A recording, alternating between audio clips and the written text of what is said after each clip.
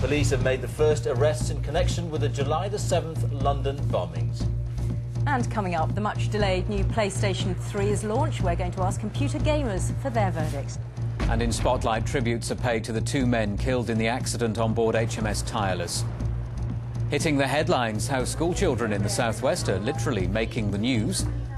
And surfs up as we chill out with the latest band in our White Labels series.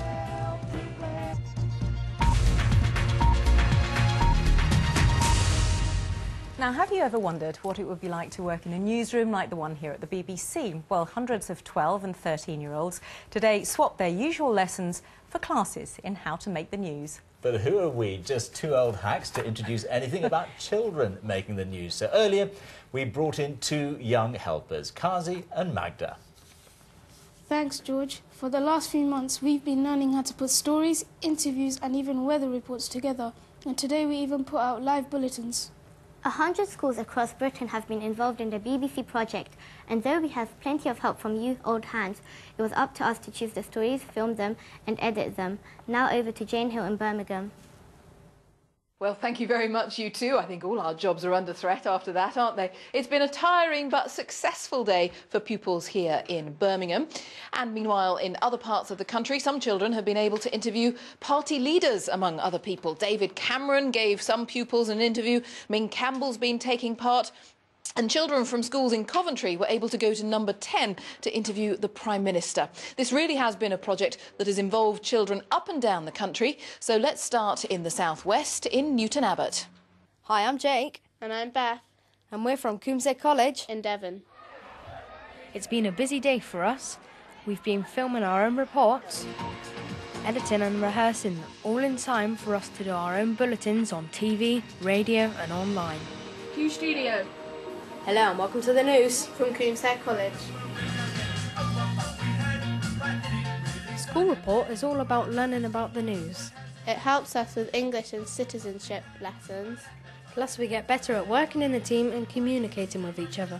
I think it's like really, really good. It's like really good fun and it's a great experience. I've learnt lots about writing and how to make the news work. We aren't the only school taking part. More than a hundred other schools are too. Well, welcome to Radio Ryburn on BBC Newsday. I'm Josh. And I'm Jane. Good afternoon. Welcome to the BBC School Report from St John Wall School. I'm Luke and this is Chantal.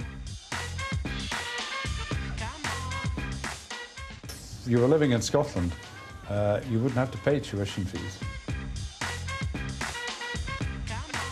Is this too high a price to pay for getting rid of Saddam? Funnily enough, just before I came here, which is why I was a bit late, I was just speaking to the Prime Minister in Iraq.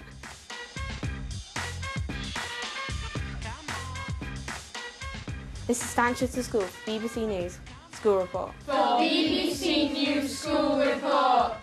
This is Luke. And this is Will, reporting for the BBC News School Report. This is Bonus Pastor Catholic College, BBC News School Report. Well, that's just a flavour of what children were doing up and down the country for this year's School Report Day, which means you can now sign up ready for next year's project, which promises to be even bigger. Well, we had a fantastic day. It's been lots of fun. Yeah, I think I get used to this. But now back to the oldies. George and Sean.